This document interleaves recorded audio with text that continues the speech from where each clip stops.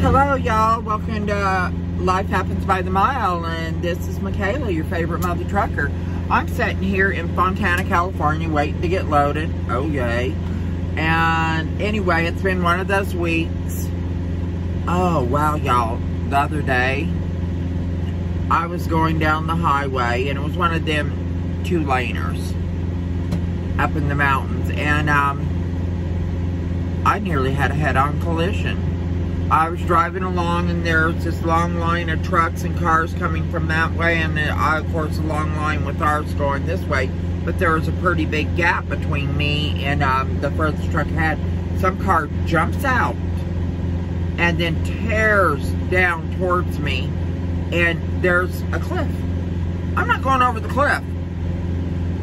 And I'm, I have to hit the brakes and, and I go up on as close to the edge as I can. This little car zips between me and the other truck who's moved over and he barely makes it. Barely makes it. Because my trailer was still coming over to catch up to me and he just barely squoze through. I'll tell you, it was terrifying.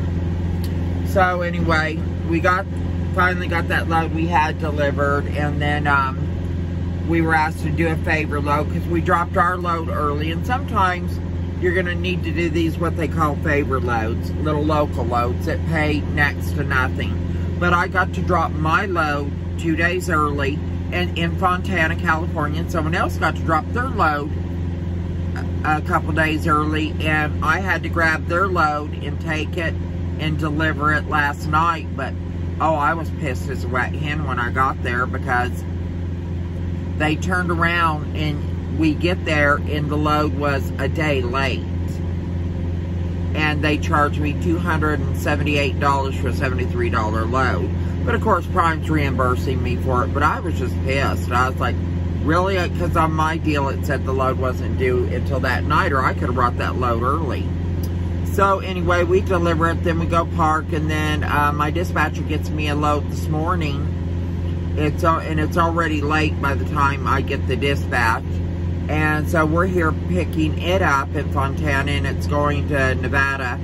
And it's going, it's only a couple hundred miles, and it's for 700 and something dollars. It delivers at 1600 and then we're gonna have, you know, and just for that, just that pays for my day and my fuel for the day. And so we're picking up another load today that's going to take off and it's going to be a real good load that my dispatcher is doing for me. So sometimes you take these little loads to get to the big load and you're like, well, why can't I just go from big load to big load? It just doesn't work like that. If you, you need to set up a good relationship with sales and your dispatcher, and the reason is is like I said, I could be setting on that one load, I'd still be setting on it. Instead of doing this load, which makes me another $700 in 200 and something miles, and just, and I get another load today. Hell, I'd do two of those loads today. And in one day, I would have made 1400 bucks in one day.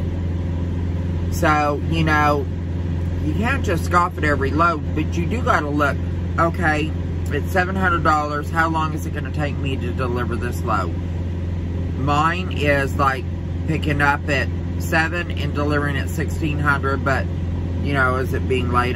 But I'll still be able to get it there in time. So, at 1600 that's perfect.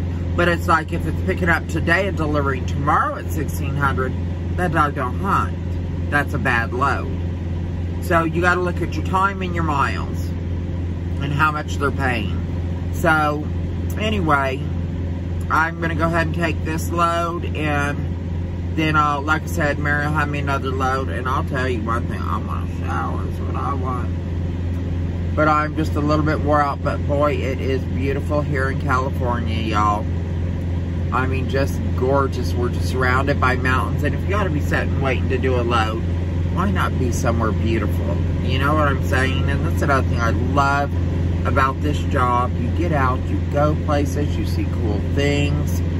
It's awesome. You're traveling, you're having a good time. Every once in a while, you know, you gotta take the good with the bad.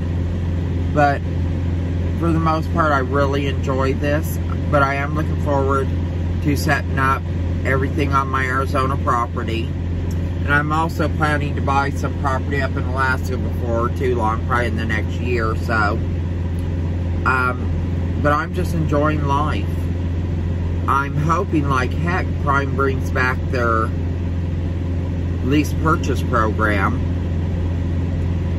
because otherwise I won't be able to stay at Prime and that just breaks my heart because I love being a trainer and I love Prime. So anyway guys I'll talk to y'all later but hey um, go ahead and take a look at David H's channel if you already haven't. He has a real real awesome channel check out Miss Long Haul Gypsy She's doing a lot of great things. She's also a TNT instructor now. She has her student with her, Allie. So uh, give them a check. Um, also check out uh, Colorado Trucker. He's also now a TNT instructor and he's doing good. Um, you could also go check out No Hippie. Lyle is awesome as always.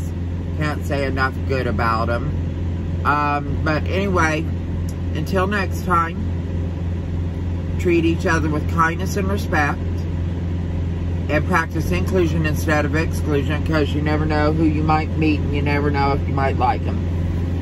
Thank you. Yeah, we're going to be slipping in this door right here.